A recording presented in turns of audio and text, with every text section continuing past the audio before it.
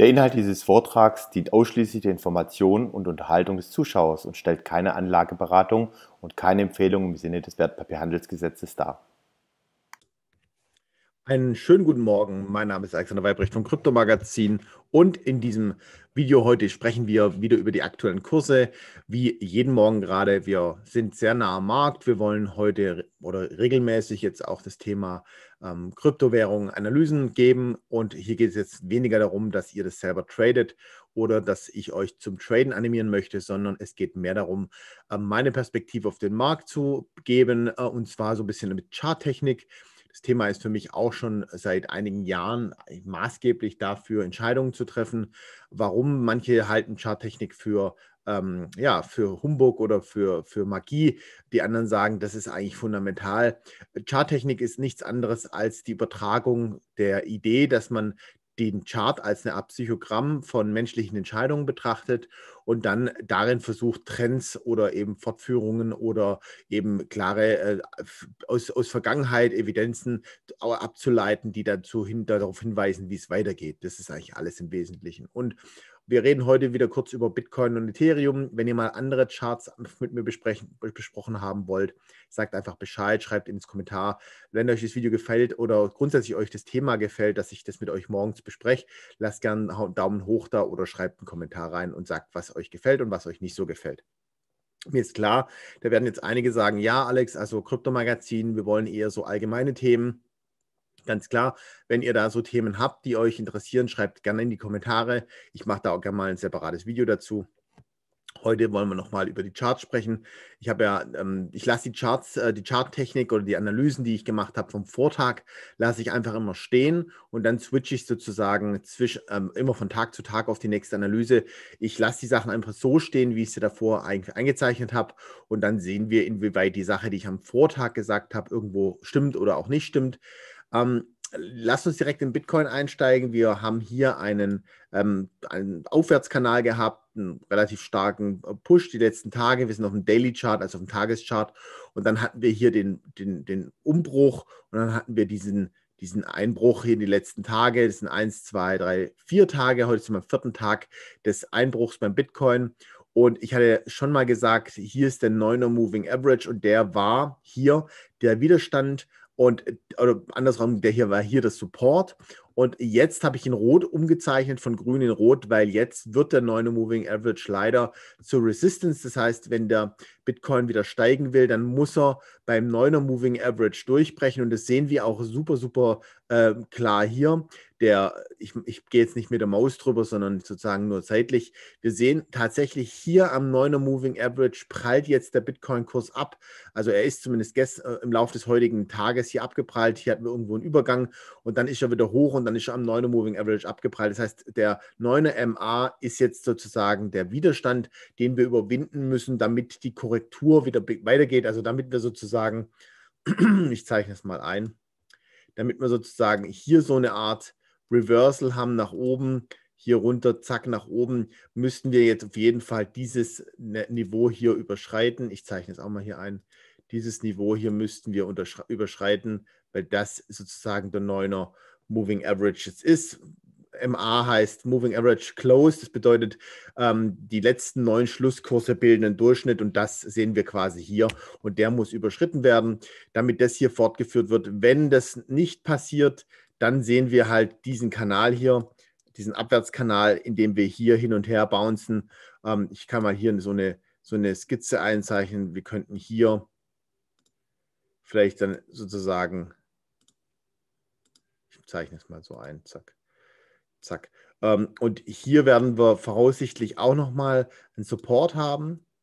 Das ist, das ist der Moving Average der Bollinger Bänder.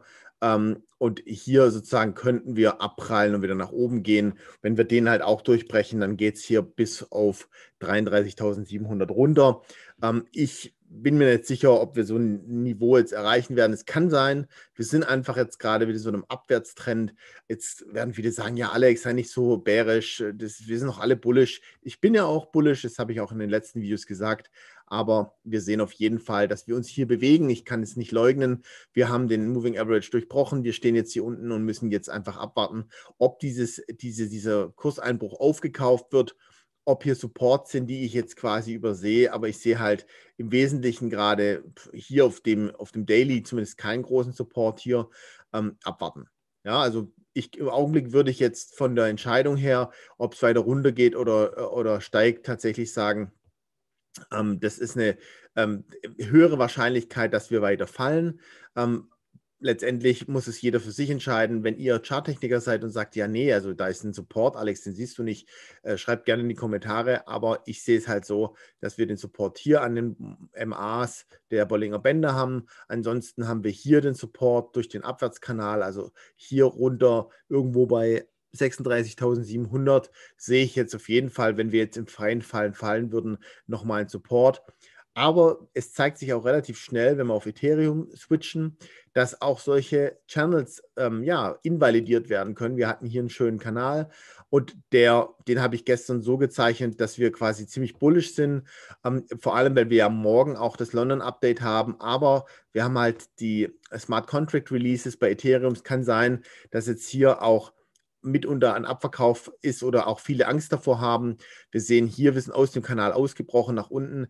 Wir sind abgeprallt und da sehen wir es wieder. Der 9er Moving Average ist eine extrem wichtige Zone, ähm, gerade auf dem Daily. Das ist wahrscheinlich eine der wichtigsten Supportzonen in diesen Charts. Und man sieht, dass er genau wieder am 9er Moving Average abgeprallt ist. Also jetzt kann man natürlich von Charttechnik halten, was man will und sagen, ja, das ist ja alles Quatsch. Aber man sieht tatsächlich hier, zack, nach unten und direkt am 9er Moving Average abgeprallt und wieder nach oben. Also, hm, also wer jetzt sagt, da ist keine Evidenz und das sieht man in fast allen Charts, dann weiß ich auch nicht. Klar, wir sehen beim Bitcoin, äh, haben wir dort einen Resistance gehabt, mehrere Tage, also einen Support gehabt, mehrere Tage und dann sind wir durchbrochen.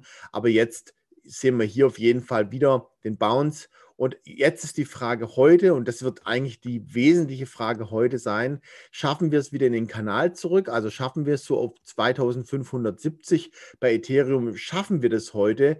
Setzt sich dieser Kanal fort und wir sehen auf jeden Fall so Richtung 3000 bis Ende der Woche. Wenn dieser, ja, wenn sich dieser, ähm, dieser Kanal nicht fortsetzt, dann sehen wir hier halt und die Resistance hier beim neuen, das, der Support beim neuen Moving Average spricht, dann sehen wir den nächsten Support tatsächlich auch so bei 2100.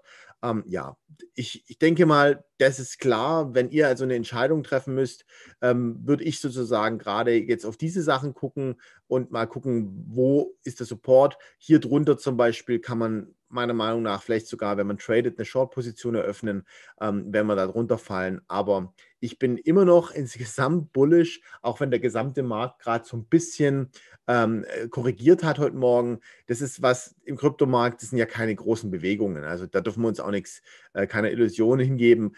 Alles unter 10% ist vollkommen normal.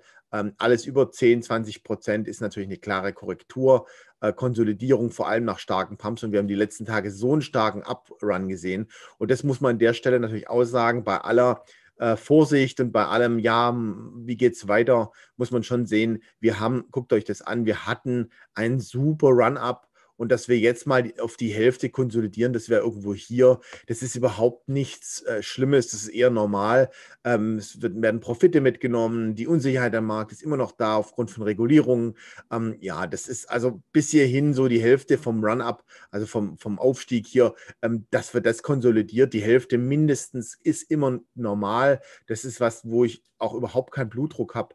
Nur trotzdem achtet drauf, wenn hier solche klaren Supports wie der 9 Moving Average durchbrochen werden, dann ist es kein gutes Zeichen. Nur ihr seht hier schon auch abgeprallt, sofort aufgekauft.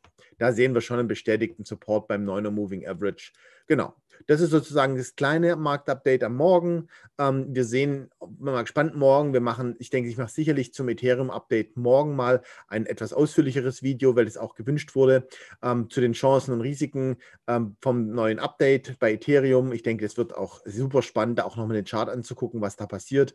Ich wünsche euch auf jeden Fall einen wunderschönen Tag und äh, wie gesagt, wenn ihr noch Anregungen, Ideen habt, Vorschläge dazu, was für Charts wir analysieren sollten oder welche Kryptowährungen interessant sind, dann schreibt einfach in die Kommentare. Ganz liebe Grüße, bis dann, euer Alex.